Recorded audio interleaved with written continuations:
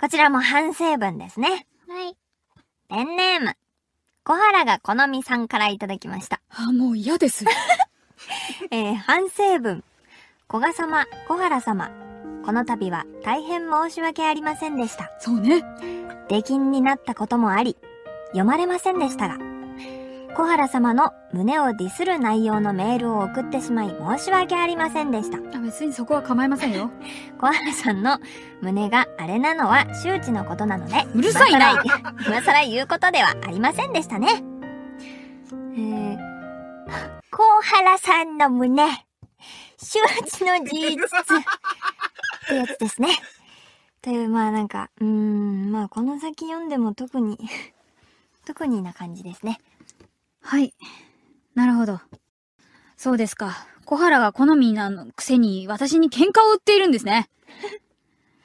はあ、なるほど。ちょっとこれは考えさせていただいて後で判定したいと思います。